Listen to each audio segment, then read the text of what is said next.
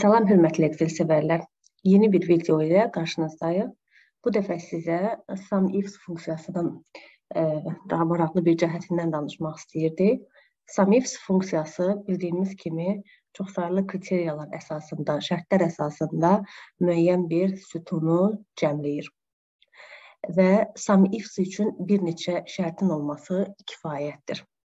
Məsələn, gəlin sadə bir ə, e, sum ifs funksiyasını yerinə yetirək Təsəvvür edək ki, bizim belə bir cədvəlimiz var.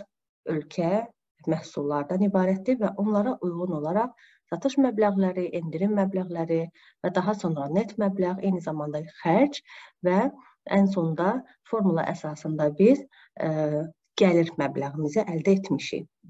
Əgər bura sum if funksiyasını yazsaq, ilk növbədə məndən sum range, yəni hansı sütunu cəmləməyimi soruşur və hansı sütunun cəmlənməsi üçün mən bu üç kriteriyanın əsasında hərəkət etməliyəm. Sum if funksiyasını yazmaqdan əvvəl onu qeyd etməyi unutmuşam ki, bizdə belə bir kriteriyalar var. Ölkə drop down list siyahı siyahıdan seçiləcək. Məhsul da eyni qayda ilə siyahı əsasında müəyyənləşir və belə bir göstəricimiz var gəlirdir. Gəlir yazdıqda artıq gəlir sütununu cəmləməyimiz tələb olunur və gəlin sum if funksiyasını qoyaq. Sum range artıq seçimlərdə gəlir olduğuna görə mən sütun olaraq gəlir sütununu qeyd etməliyəm. Qeyd edirəm. Vergül işarəsini e, basıram ki, növbəti kriteriya keçid etsin və ikinci kriteriyam criteria range. Yəni mənim artıq şərtlərimin yerləşdiyi bir-bir diapazonları qeyd eləməliyəm. Şərtlərim 2 ədəddir. Biri ölkədir, biri məhsuldur. Gəlin ilk olaraq ölkələrin yerləşdiyi diapazonu qeyd edək. Bu baxın burada A sütununda yerləşir və həmin diapazondan nəyə qeyd etməliyəm mən? Artıq ölkəni.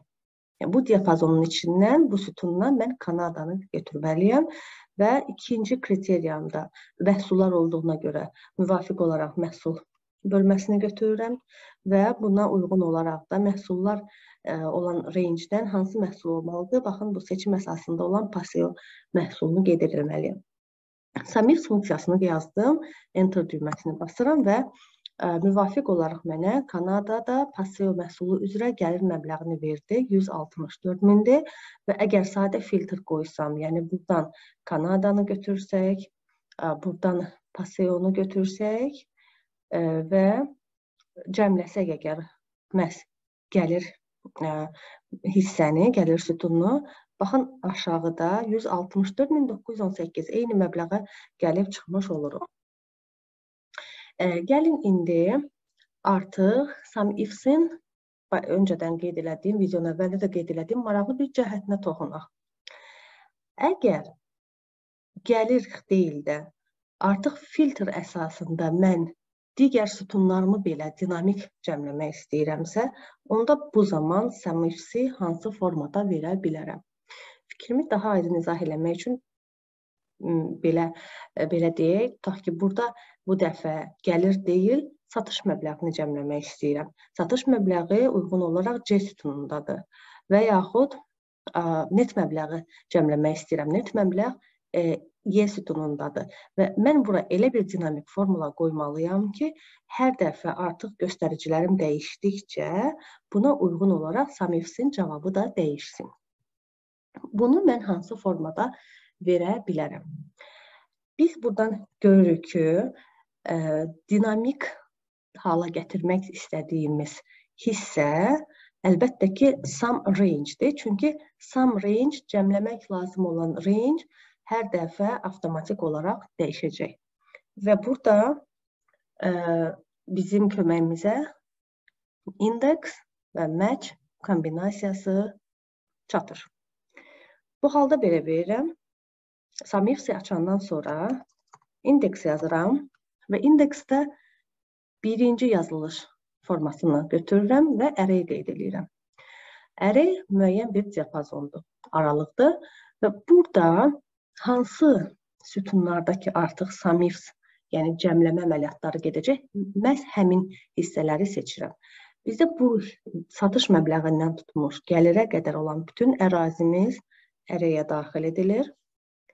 Row number sətir nömrəsinə ehtiyac yoxdur.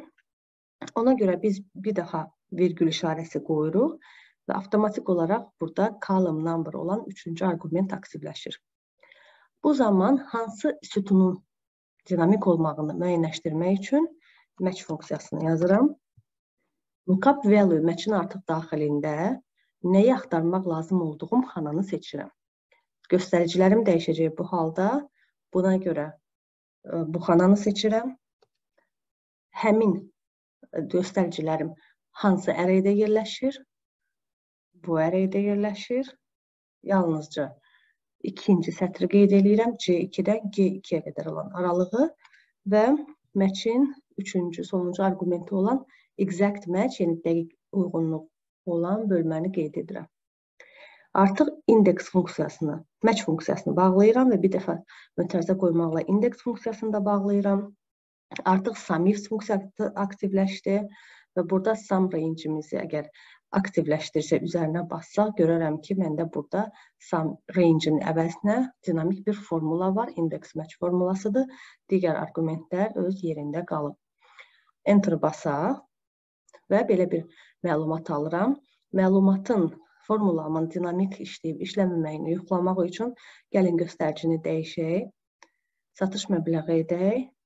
Görürük ki, burada avtomatik olaraq məbləğ də dəyişilir və yaxud da ölkəni əgər biz dəyişsək, yenə də eyni qayda ilə SAMIX avtomatik, dinamik formada istifadə olunur. Bu qədər daha maraqlı Excel tipləri və hilələri üçün kanalımıza abunə olun, abunə olun və videolarımızdan yararlanın. Sağ olun.